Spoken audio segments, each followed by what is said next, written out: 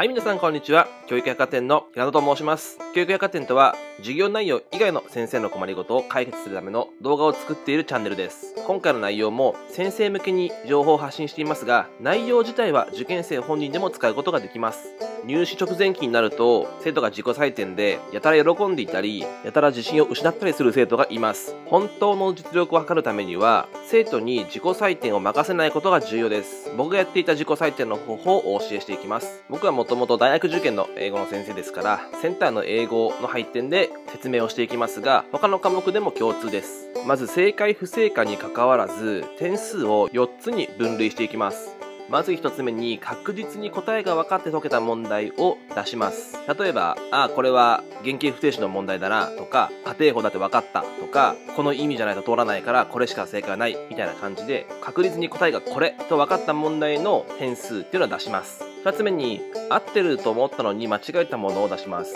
この動画とは直接的にはあまり関係がないのですが、この中に基礎問題がどの程度含まれているかで実力を測ることもできます。自己採点では点数にそもそもなっていないですから、加点減点の対象にはなりません。3つ目に2択に絞った問題の配点を出します。これは正解不正解にかかわらず、うん、どっちかなんだけど、多分こっちだろうなってマークした問題は全てこの3番に分類します。採点が終わった後に分類させると面倒なので、2択に絞った問題に関しては、もう問題を解いてる最中に問題番号の横に印をつけておくなどしておくと、後で見返すのが簡単です。4つ目は3択以下にしか絞れなかった問題ですね。要はよくわからなかった問題を引っ張り出します。ただそれでもマークでは点数が取れてる可能性があるので、ここの配点がどれだけ大きいかが本当の実力を測る上では非常に重要です。です。一応まとめますが、一択に絞って正解した問題は点数をそのままにしてください。一択に絞ったが不正解の問題は不正解なのでそのまま0点として扱います。次に二択に絞った問題の配点合計を調べ出して、その配点の半分の点数を加算します。なので実際に取っている点数とは開きがある場合があります。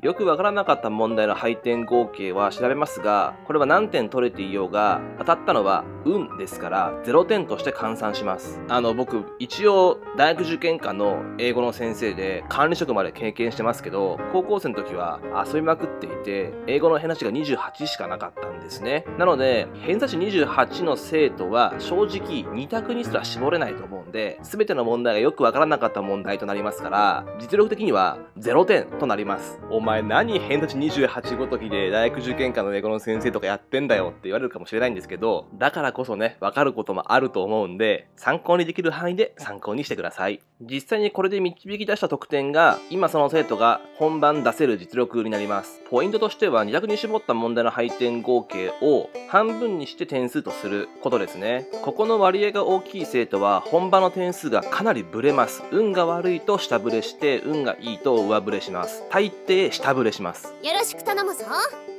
ポイントの2つ目としては、よく分かんなかった問題の配点合計を調べて、実際には何点か取れてるとは思うんですけど、そこを0点とすることですね。本番は運が悪くなると思った方がいいですよね。これは先生の指導歴が長いとよくわかると思います。そして生徒には、確かにたまたまこの問題は合ってるけれど、実質的には分からなくて外す可能性の方が高かったわけだから復習をしようね、みたいな感じで、特に基礎問題の指導をした方がいいかなと思ってます。はい、まとめますけども、こんな感じですね。とにかく2択の問題は何点取れてようが、配点が50だったら実際には25として換算しないと、過去問では170点取れてたのに、本番140しか取れなかったわ、みたいな生徒が出てくるんで、自信をつけさせることはいいことですが、運がいいことによって自信をつけさせても意味がないので、そのあたりは先生は実力と運の見極めってのをしてほしいので、この自己採点の方法は使えるかなと思います。私の先生が全然指導してくれないから困ってるんですって言って Twitter くれる生徒はですね、何人もいるんで、そういう生徒は僕を頼るのは全然構いませんけど、一応これ先生に作ってる動画なので、これ見てる先生は自分が抱えてる生徒の進路指導はしっかりやってほしいなと思ってます。この内容が参考になったという方は高評価、チャンネル登録をお願いします。それではありがとうございました。